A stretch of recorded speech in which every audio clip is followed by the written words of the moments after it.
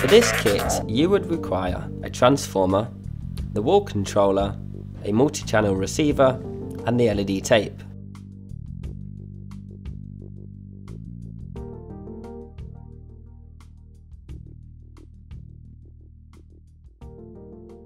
To wire this system, you wire the transformer's positive cable to the V plus of the receiver and the negative cable to the V minus. The LED tape wires to the output of the receiver, black to V plus, R to red, G to green and B to blue.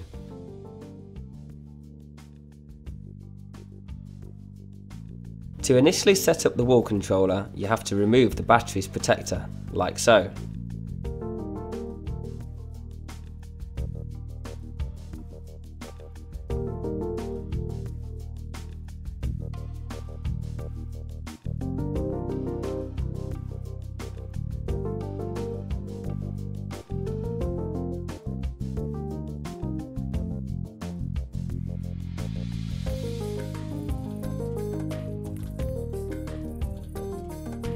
To pair your controller to the receiver, click the Learn button on the receiver and within quick succession, click any button on your wall controller.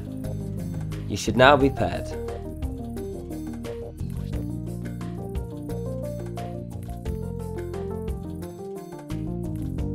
To unpair, hold the black Learn button on the receiver for 10 seconds. The LED light should flash or change colour. You are now unpaired. To repair, follow the previous step.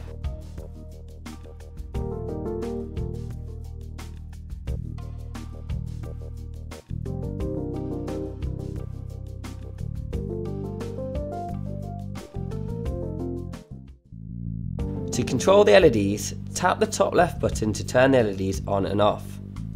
This controller always remembers its last setting. Tap the bottom right button to change between static colours, including whites. Hold this button to get the exact colour mixes.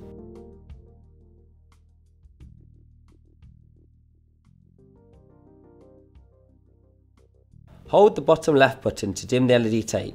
Hold again to increase the brightness.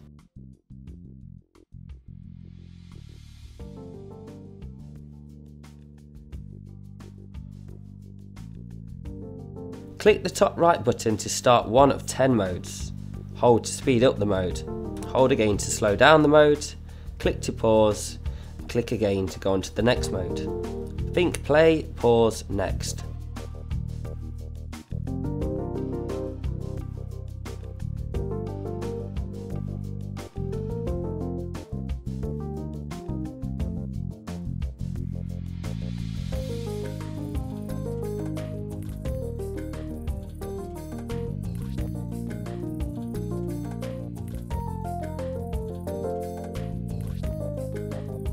You can detach the centre of the controller to use it as a handheld remote.